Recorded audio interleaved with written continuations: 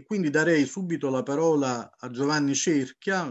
storico, professore ordinario di storia contemporanea all'Università del Molise, eh, è uno studioso che ha lavorato molto sia sulla storia del PC, sia sulla storia del Mezzogiorno e ultimamente sul periodo della guerra e del, e del dopoguerra.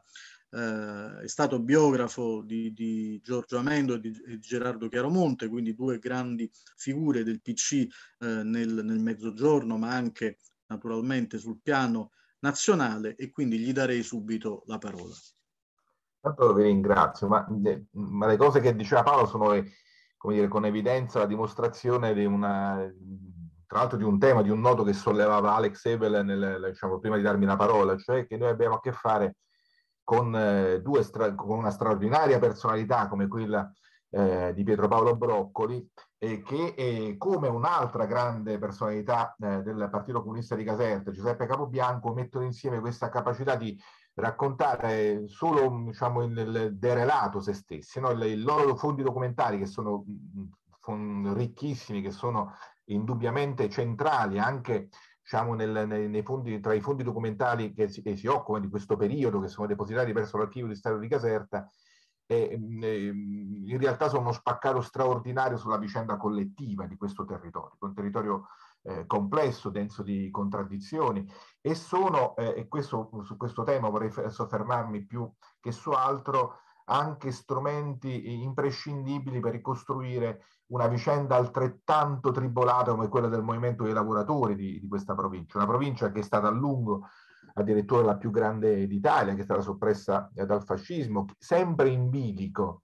eh, peraltro, e poi dirò, eh, proverò a dirvi per cosa c'entra, per cosa colpisce questa considerazione, poi con eh, invece il carattere del contributo diciamo, che Pietro Paolo Broccoli ha portato e allo stesso tempo, anche se con mille diversità, eh, si potrebbe dire la stessa cosa di Giuseppe Capobianco, diciamo una provincia sempre in bilico tra eh, originalità del, eh, delle proprie, anche delle proprie contraddizioni e eh, una eh,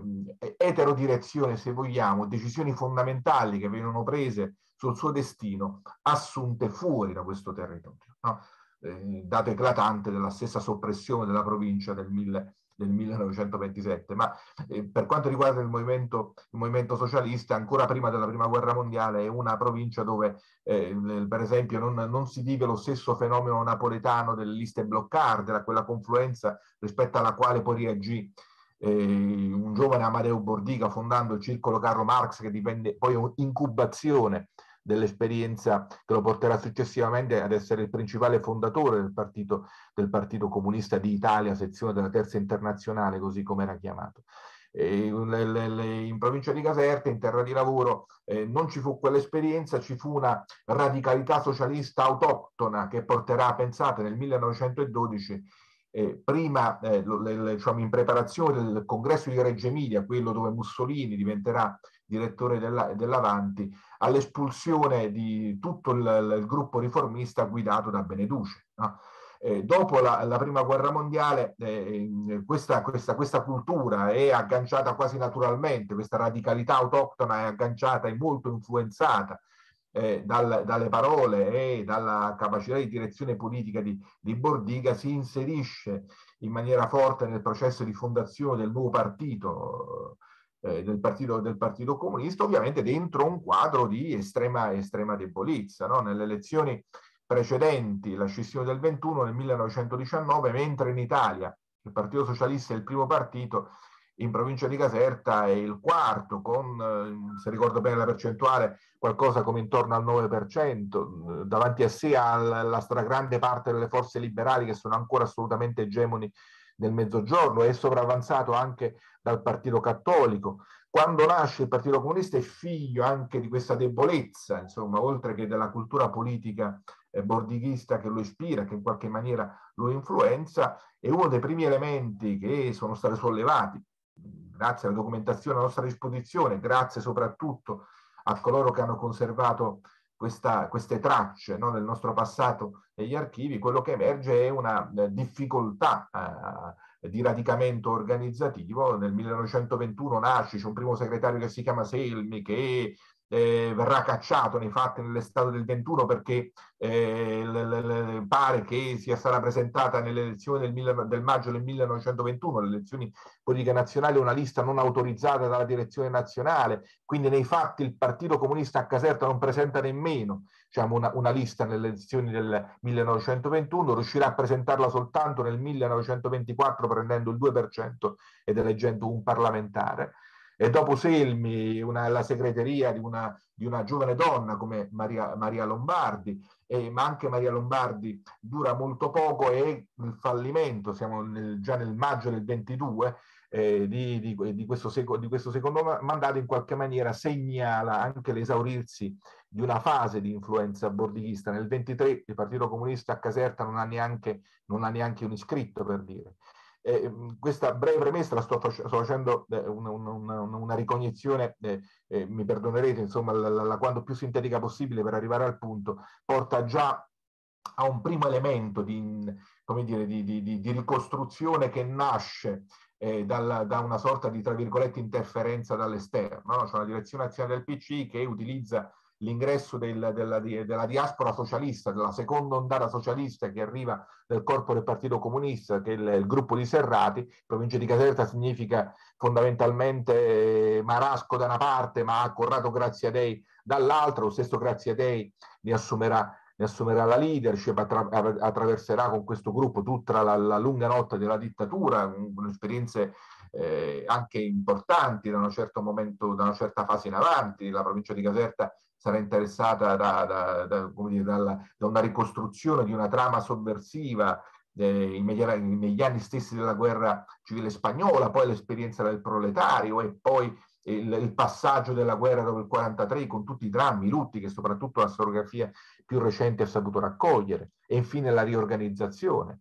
E ancora qui la crisi, dopo la seconda guerra mondiale eh, grazie a Dei viene messo in discussione con le, per la, perché non riesce a rappresentare eh, come dire, questo, questo, corpo che si rimette, rimette, in campo e la decisione della direzione nazionale del PC di mandare per lungo tempo propri uomini dall'esterno a ricostruire questo partito. No? Eh, da De Andreis eh, ad Attilio Esposto, fino ad arrivare, lo citava prima Paola Broccoli, alla lunga segreteria di Giorgio Napolitano che dura dal 1951 al 1957, che è quantomeno una segreteria campana, no? un napoletano che è mandato a farsi le ossa in provincia di Caserta, anche se nella uh, autobiografia di Napolitano, quella del 2005 pubblicata dall'Ala Terza, i giudizi su quella fase su, eh, da parte dell'ex Presidente della Repubblica sono quantomeno ingenerosi, ma questo meriterebbe una, una, una, riflessione a parte. Perché questa premessa? Eh, eh, Pietro Paolo Boroccoli si iscrive al Partito Comunista dopo il 56.